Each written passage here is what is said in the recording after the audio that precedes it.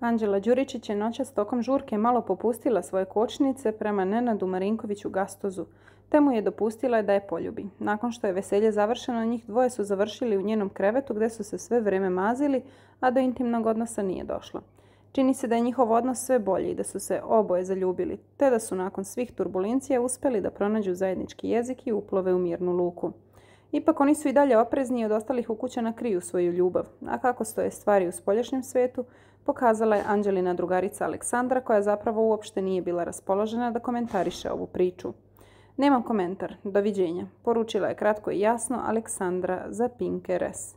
Preostaje da vidimo šta će se dalje dešavati u odnosu između Anđele i Gastoza. Ona je nedavno završila svaki kontakt sa njim, nije željela da stupi u vezu sa njim dok je on uporan bio oko nje, te se trudio svaki dan. A očito se noćas upornost isplatila i urodila plodom, obzirom da je Anđela ga pustila kod sebe u krevet. Preostaje da vidimo šta će se dalje dešavati.